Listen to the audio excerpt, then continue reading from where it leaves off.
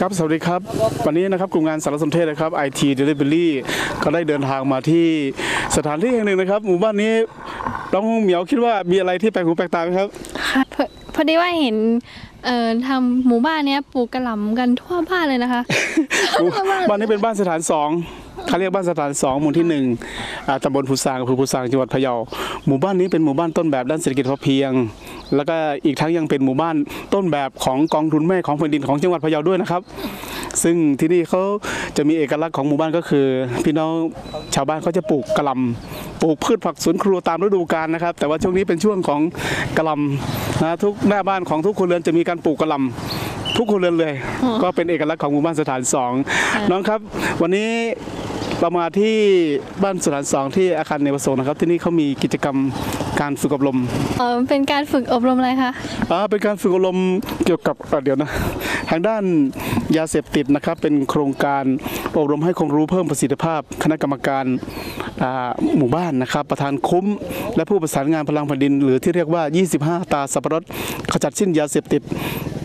จำนวนผู้กลุ่มเป้าหมายที่อบรมวันนี้ก็ 52 คนนะครับได้ดำเนินการวันนี้นะฮะวันพฤหัสบดีที่ 14 มีนาคม 2556 ณที่ ศาลากลางหมู่บ้านเดี๋ยวเราไปพบกับหัวหน้าสุพจน์ชาญเวทพระการอำเภอกันเดียวนะครับดีกว่านะครับ เพราะว่าวันนี้เขามาเป็นเป็นพิธีกรที่นี่ด้วยนะครับ เชิญครับ ครับตอนนี้ผมอยู่กับท่านสุพจน์ชันเวทนะครับ ท่านเป็นพนักการอำเภอภูซางแห่งนี้นะครับ ในส่วนของอ่าหมู่บ้านต้นแบบกองทุนแม่ของแผ่นดินบ้านสถานสองเนี่ยนะครับ ก็ทางสำนักงานพระนำชนอำเภอภูซางนะครับ ก็ได้เข้ามีส่วนร่วมนะครับทางทีมงานนะฮะก็ อยากจะทราบทางท่านหัวหน้าสุพจน์ชันเวทนะครับพนักการอำเภอนะครับว่าท่านทีมงานของท่านเนี่ยมีส่วนสนับสนุนการขจัดสิ้นปัญหายาเสพติดของบ้านสถาน ทั้งการป้องกันและการแก้ไขปัญหายาเสพติดของหมู่บ้านนี้ครับท่านครับครับขอบคุณครับผมนายสุพจน์ชันเวชพัฒนาการอำเภอภูซางนะครับสำหรับหมู่บ้านสถานสองหมู่ที่หนึ่งตำบลภูซางอำเภอภูซางจังหวัดพะเยาของเรานี้ครับเป็นหมู่บ้านที่มีศูนย์เรียนรู้กองทุนแม่ของแผ่นดินดีเด่นระดับจังหวัดนะครับ ซึ่งศูนย์เรียนรู้แห่งนี้นะครับได้รับการสนับสนุนจากสำนักงานพาณิชนอำเภอภูซางในการส่งเสริมสนับสนุนให้คณะกรรมการหมู่บ้านนะครับ โดยเฉพาะคณะกรรมการกองทุนแม่ของแผ่นดิน ได้มีการบริหารจัดการศูนย์เรียนรู้แห่งนี้ จนประสบความสำเร็จนะครับ เราส่งเข้ารับการคัดเลือกระดับอำเภอไปถึงระดับจังหวัด จนได้รับดีเด่นระดับจังหวัด ครับในการป้องกันและแก้ไขปัญหายาเสพติดของสำนักงานอำเภอภูซางที่มีส่วนร่วม ซึ่งวันนี้นะครับทางหมู่บ้านได้มีการจัดอบรมคณะกรรมการหมู่บ้าน แล้วก็ก็นะครับตาสับปะรถ25ตาสับรดในการป้องกันและแก้ไขปัญหายาเสพติด ซึ่งได้เรียนเชิญทางสำนักงานพระนำชนอำเภอภูซางนะครับมาทำความเข้าใจเกี่ยวกับบทบาทภารกิจหน้าที่ของคณะกรรมการหมู่บ้าน ในการบริหารจัดการหมู่บ้าน โดยเฉพาะการป้องกันและแก้ไขปัญหายาเสพติดอย่างไร ให้ประสบความสำเร็จนะครับ สมกับเป็นหมู่บ้านศูนย์เรียนรู้กองทุนแม่ดีเด่น ระดับจังหวัดปี 2555 ที่ผ่านมานะครับซึ่งวันนี้ผมในฐานะเป็นพัฒนาการเภอได้รับมอบได้รับเกียรติจากทางหมู่บ้านนะครับให้มาทำความเข้าใจในเรื่องบทบาทหน้าที่ของคณะกรรมการหมู่บ้าน แล้วก็25ตาสับรถในการป้องกันแก้ไขปัญหายาเสพติดว่าจะทำยังไงให้หมู่บ้านนี้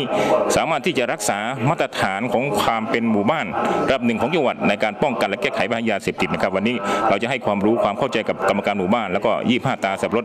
ในการวางแผนนะครับในการดูแลในการป้องกันแก้ไขปัญหายาเสพติดให้มีประสิทธิภาพต่อไปครับผมครับท่านครับเราไปชมบรรยากาศของการฝึกอบรมด้านในกันดีกว่าครับกว่าครับเชิญครับ ค่ะ สวัสดีค่ะผู้หลวงบ้านเอ่อในในการป้องกันยาเสพติดในหอหมู่บ้านเนี่ยมีอย่างไรบ้างคะครับก็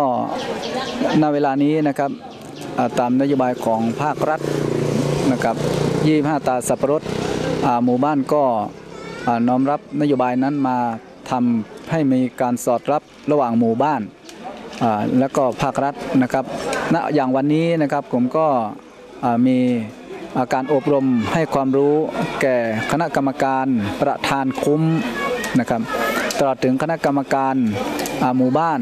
และกรรมการกองทุนแม่นะส่วนนี้ก็เป็นนโยบายของหมู่บ้านที่จะทำการป้องกัน แก้ไขปัญหายาเสพติด ก็ทำนโยบายของ 25 ตาสับปะรดให้เป็นรูปธรรม โดยการให้ประธานคุ้มดูแล แต่ละคุ้มนะครับแยกออกมาเป็นหนึ่งคนต่อ 5 ครัวเรือน 10 ครัวเรือนนะครับ ประมาณนั้นแล้วก็เป็นการเอ็กซเรย์แต่ละคุ้มนะครับเอ็กซเรย์แต่ละคุ้มดูแลซึ่งกันและกันในคุ้มนะครับ ส่วนนี้จะเป็นแนวเกราะป้องกันที่ดีให้กับพี่น้องชาวบ้านนะครับ ทุกๆอ่าครัวเรือนนะให้อยู่กันอย่างมีความปลอดภัยนะห่างไกลนะไม่เกี่ยวข้องด้านยาเสพติดนะครับ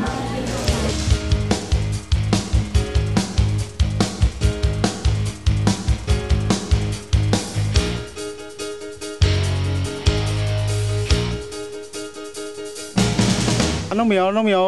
ชอบทานกะหล่ำไหมครับอ่าชอบค่ะเพราะว่าบ้านทำเป็นประจำเลย โอ้โหถ้าชอบทานกะหล่ำปลีนะฮะช่วงนี้ก็มาเที่ยวที่บ้านสถานได้นะครับ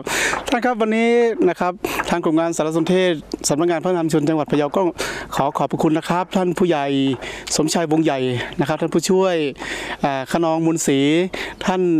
พี่น้องประชาชนนะครับ ชาวบ้านสถานนะครับ วันนี้นะครับก็ พร้อมเพรียงกันดีนะครับค่ะที่หอประชุมนะฮะในการฝึกอบรมครั้งนี้ การฝึกอบรมครั้งนี้นะครับก็คงจะเพิ่มประสิทธิภาพความสามารถความรู้ความสามารถให้กับเอ่อคณะกรรมการหมู่บ้าน ประธานคุ้ม แล้วก็ 25 ตาสับปะรดนะครับคงจะร่วมแรงร่วมใจกันป้องกัน และแก้ไขปัญหายาเสพติดนะครับ ทั้งการป้องกันและก็ทางแก้ไขด้วยนะครับก็คงจะทำให้บ้านสถานสองเป็นต้นแบบอ่าศูนย์เรียนรู้ของกองทุนแม่ของแผ่นดินนะครับแล้วคงเป็นตัวอย่างให้กับ ผู้คนต่างๆ เดินเดินทางมาศึกษาดูงานด้วย ใช่ค่ะ วันนี้นะครับเราทั้งสองนะครับ ผมแล้วก็น้องเหมียวนะครับ ก็คงจะขอลาทุกท่านไปก่อนนะครับ พบกันใหม่คลิปหน้าครับ สวัสดีครับค่ะสวัสดีค่ะ